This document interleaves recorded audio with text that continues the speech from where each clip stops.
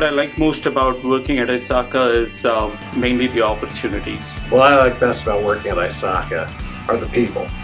I like to work with the staff, uh, people who bring their immense talents from all different disciplines together to try and make this uh, organization the best it can be. What keeps me engaged at ISACA is actually this one opportunity that I love. We have a giving committee that brings employees together around a common purpose, usually to help out a charity, and it's a really fun opportunity to work inside with ISACA employees to help people outside of ISACA. What keeps me engaged at ISACA is the opportunity to build something really from the ground up and to have an impact on the communities that we serve. Being innovative means, um, well, for me, means taking measured risks to make um, processes more streamlined. To me, innovation is more about moving the needle from zero to one.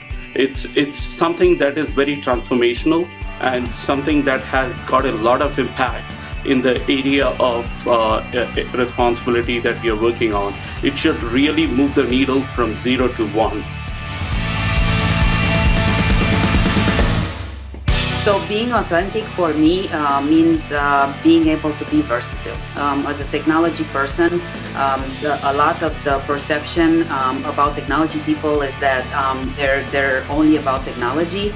Um, to me, um, the authentic word means that I'm able to combine that techno technological knowledge that I achieved over my career um, and produce business value I'm authentic at ISACA in the way that I can be myself, that I'm not judged in my ideas or the expression of them, and I'm allowed to be creative and to make suggestions, to express my ideas, and have them heard.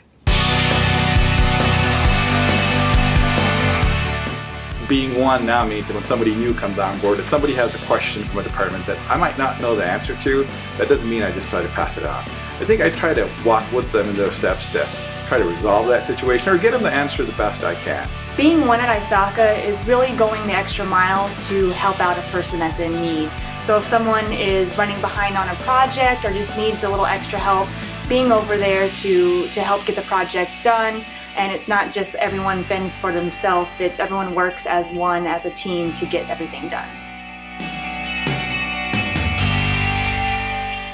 One way that I'm dedicated to ISACA is to our CSX brand, which I've been lucky enough to work with, but I wear my CSX jacket everywhere, not only at work, but to the gym, um, out with friends and family. So just having that brand on me and getting to brag about it and talk about it to everyone outside of work, that's how I stay dedicated to ISACA. Being dedicated means um, making sure that everyone who walks uh, in the doors of ISACA gets an incredible experience.